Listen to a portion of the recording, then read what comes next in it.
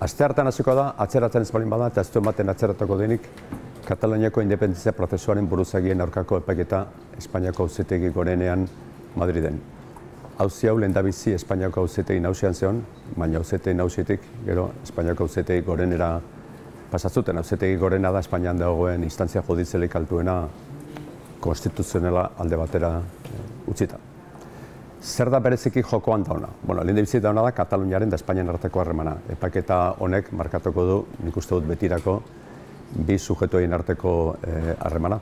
Alde betetik Katalunia eta Katalunian, independe, Kataluniaren independentzian nahi duten eh, herritarrak, horrengoz parlamentuan gehiengoak direna botoen eguneko berroita zazpiarekin, eta bestaldetik Espainia, eta Espainiaren e, estatu egiturak dela gobernua, dela e, auzitegiak edo justiziaz.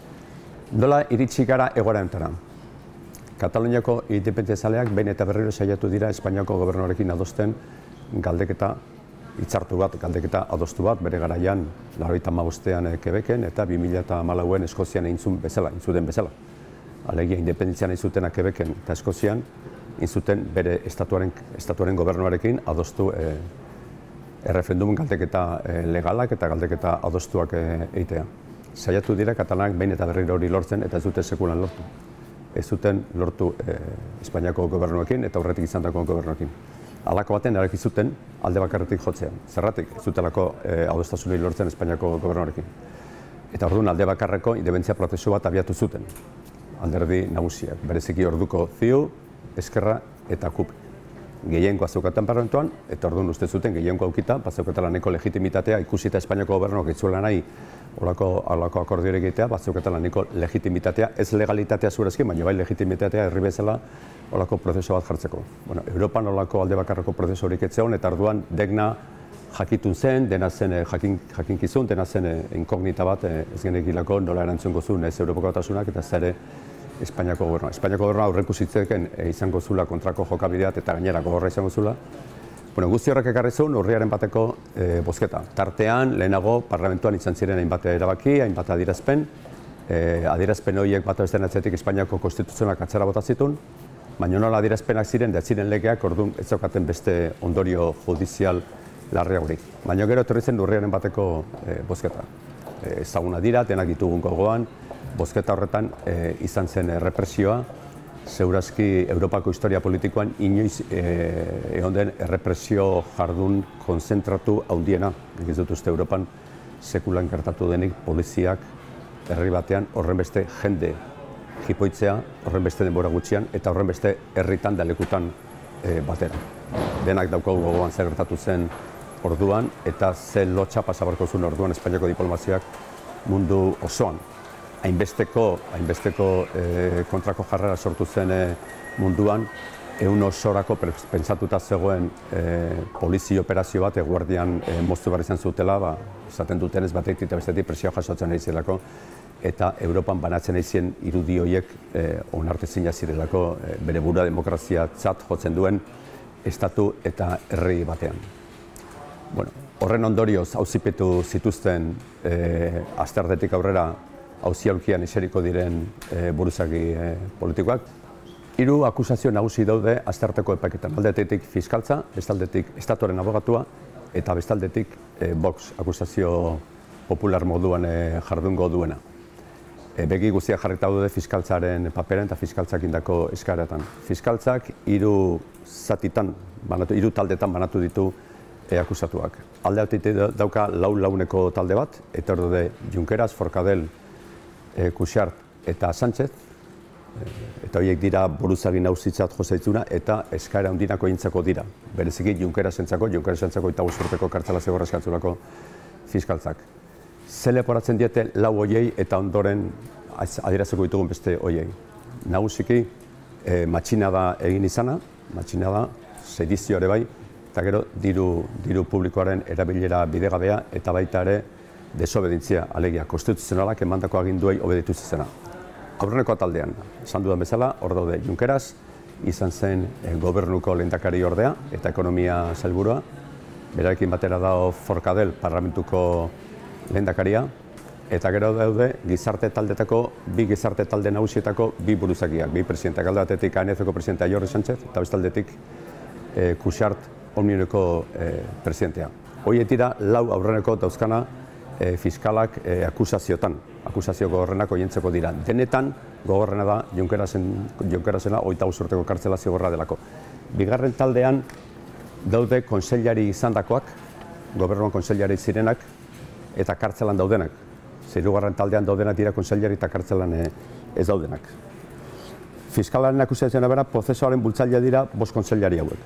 Dira For, Turul, Romeba, Rul eta Basa. Hauei ere matxina da leporatzen die fiskaltzak, matxina da, aurreko bezala, bigarren taldeko matxina da, eta bakoitzaren eskatzen du amazi urteko kartzela zigorra.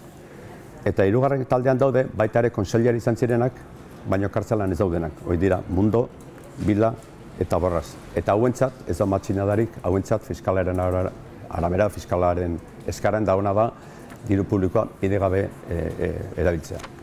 Akusazio larri horiek ikusita, fiskaltzaren papera erabakitzailea izango da. Ez ezagun asko, fiskaltza estatuaren parte badela eta gainera justizia ministerioaren alako dependentzia organiko bat e, daukala estatuaren abogatuak ere bai, asko zaundiago dauka, eta gero box da akusazio, herri akusazio e, libre bat. Akusazio idazkian, epaketa ziurreko akusazio idazkian, ikusi dugu e, fiskalaren e, jarrera zen izan den. Fiskalak ez du aldatu bere akusazio prozesua zizenetik, bere iritziz ez delako zer gertatu iritzi hori aldatzeko. Dagoen duda da, epaiketan zehar, gertatzen dena ikusita, bateko lekuko, bateko, bateko besteren adierazpenak, fiskaltzak epaketaren bukaran aldatuko duen ere bere eskaera. Horengo eskaerak oso larria dira, esan dugun bezala, oita urte junkeraz, eh, amazazpi besteak, eta amazei beste eta bestatzen zazpi urte. Beraz, eskaerak oso dira. Zer ingo du fiskaltzak epaketaren bukaran? Epaketaren bukaran bere azken konklusioak deitzen den e, egun horretan, irakurketa horretan, e, orengo akusazio eutxi balin badie, sententziak zeurazki oso gorrak izango dira. Oso zaila delako gorenak ez jotzea fiskaltza joko den bidetik. Eoliteken duda bakarra da, fiskaltzak uste balin badu epaketen zehar akusazioiek ez direla behar bezala forogatu, fiskaltzako ikilezake jokabide bat, jokabide aldaketa bat, eta arduan hasieran indako e, zigor gogorroien eskaren ordez, leunago kitea. Hor mundu uziak ulertuko luke fiskaltza, eo gobernua fiskaltzaren bidetik egin dela mezu politikoa bidaltzen. Egin dula legin bat zigorrak horren gogorrak ez izateko. Hala ere, e, analisten arabera eta un hauetan entzun eta irakurri duen arabera ematen du fiskaltzak ez du landatuko bere jokabidea eta fiskaltzak epaketaren bukaeran, epaketaren hasieran bezala, akusazio berberak ingo ditula. Alegia matxina da, sedizioa, e, desobentzia eta diru publikoaren erabilera e, bide gabea. Ze ondori izan ditzake honek? Ba, oso ondori larriak, seguru.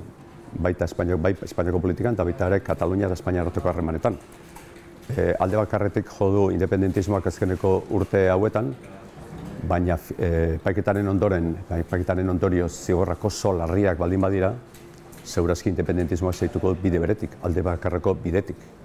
Eta Kataluniako gizartearen zati handi bat ez bakarrik independentzia zale dena. Ze Katalunian jende asko dago, independentzia zale ez dena, baina horitu zaiona sekulako e, neurrigabekeria, baina neurrigabeko kontu bat, hautesontzia jartzeagatik jendeak kartzelan sartzea eta zigor gogorra jartzea.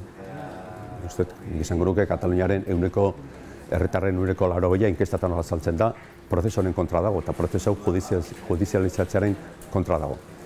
Honek asko zelduko du bien arteko harremana, ikusteko dago ze bide hartuko duen independentzia zaletasunak eh, kondenak oso gorra balin badira, baina Katalunia eta Espainian arteko harremana epaketa ontatik aurrera, aste artean hasiko epaketa ontatik aurrera, ez da orain arte bezalakoa izango. E, uste, estatuak bidaltzen duen mezua balin bada, ez da zer eginik zuekin, zuek izako zuek gurekin hitzaren bide zer. Eta jakintza zue urrengoan horrelako batein ezkero berriro bide beretik joko dugula, aida mezua bidaltzen estatua katalanei, eta katalanak ez garen hoi ere bai. Beraz ikusiko dugu zer gertatuko den, epaiketa luzatu ingo da hilebete desentetan, baina sententzia espero den bezain gogorra, espero den bezala gogorra balin bada, etorkizuna eta sekulan iragana bezalako izango.